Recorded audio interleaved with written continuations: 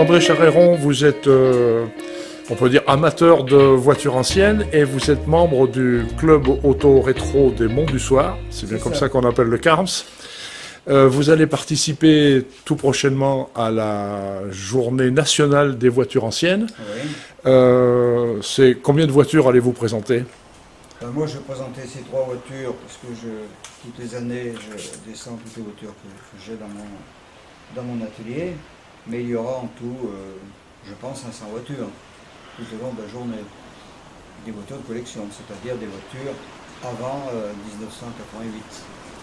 Ah oui, Des voitures qui ont 30 ans. Au moins 30 ans. au moins 30 ans. Et jusqu'à, euh, je pense que la plus ancienne aura euh, euh, plus de 80 ans, c'est sûr. hein. Ce sont des voitures qui, euh, euh, qui, ont été, euh, qui ont été achetées, qui ont été commercialisées en 1910, euh, 15. Euh, je pense qu'il y aura quelques voitures comme ça aussi euh, à cette journée.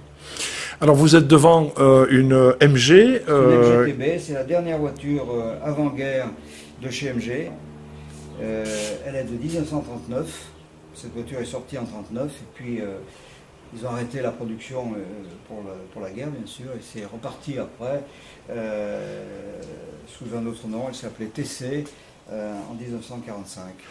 Voilà donc cette voiture a 80 ans cette année et euh, je l'ai achetée euh, en bon état carrosserie. J'ai travaillé un peu sur le moteur, beaucoup sur le moteur et puis sur, euh, sur tout l'environnement, sur le freinage, sur l'embrayage, sur un peu l'électricité. Mais côté carrosserie, il n'y a pas grand-chose à faire. Merci. Vous avez également une autre voiture qui est une Dina Panhard. Voilà, alors cette voiture est une Dina Junior de 1954. Je l'ai achetée sous forme euh, d'épave, elle était euh, bien abîmée et j'ai tout refait.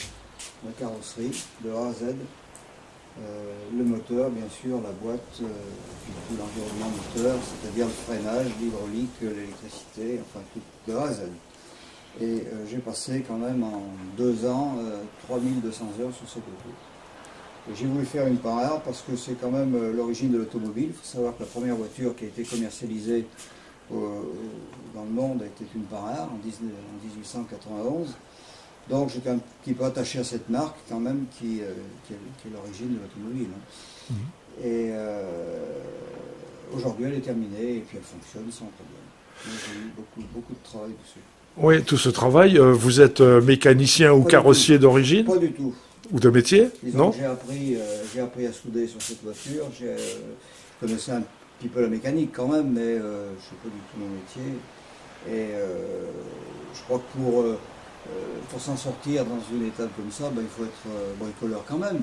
Mais il faut avoir surtout beaucoup d'imagination. On dit que l'imagination est, est supérieure au savoir. Je crois que quand on sait, c'est bien, bien sûr, mais il faut surtout avoir beaucoup d'imagination et puis de la volonté, bien sûr. Et envie de le faire, de l'envie. Il m'a été rapporté que vous avez refabriqué une aile vous-même, on dit comme ça. Oh, une- les morceaux, euh, oui, euh, tout- toute la partie avant, là, toute cette partie-là a été reformée avec de la tôle. Enfin, pour info, j'ai acheté 10 mètres carrés de tôle, j'en ai pas assez, j'ai dû en racheter 2 mètres carrés en plus. Ah oui. Alors évidemment, il y a beaucoup de chutes, je sais pas, il n'y a pas 10 mètres carrés de tôle là-dessus, mais j'ai dû acheter 10 mètres carrés, le plancher en prend beaucoup, etc., pour refaire la voiture. Donc il y a des grandes parties qui ont été reformées, euh, retravaillées, ressoudées, et c'était pas du tout mon métier, mais bon, ben, j'ai appris euh, sur le temps, et puis bon, j'ai un petit peu. euh, je, le sens bien, quoi. La particularité de cette voiture, c'est le moteur, parce que ces moteurs-là, c'est des moteurs fabuleux, c'est toujours, euh, ça a toujours été le même moteur de, euh, de 40, euh, 45, 46 par là, jusqu'à 67, où euh, a arrêté, été repris par Citroën et puis euh, a, a bouclé. Euh, c'est toujours ces mêmes moteurs qui ont été montés sur ces voitures, des bicylindres, de 250 cm3, et qui étaient très performants en condition d'être faits dans les règles de l'art. Des moteurs qui ont gagné 10 fois le Mans en indice performance énergétique, 3600 victoires, enfin bon, c'est des moteurs qui sont exceptionnels. Mais il faut que ce soit fait dans les règles de l'art. C'est des bicylindres, des petits bicylindres qui marchent très bien.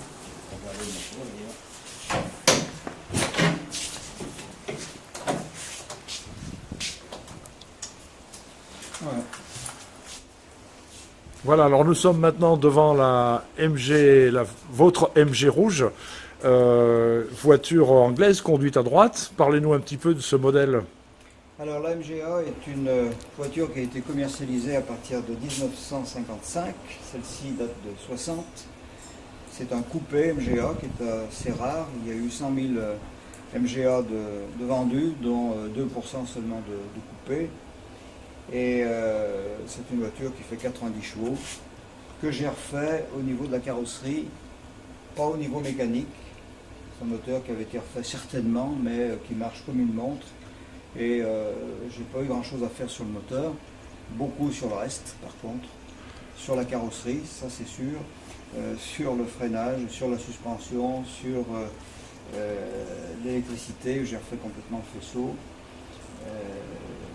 et qui marche euh, admirablement bien. C'est une voiture de 90 chevaux qui s'intègre bien actuellement dans la circulation actuelle, hein, sans problème.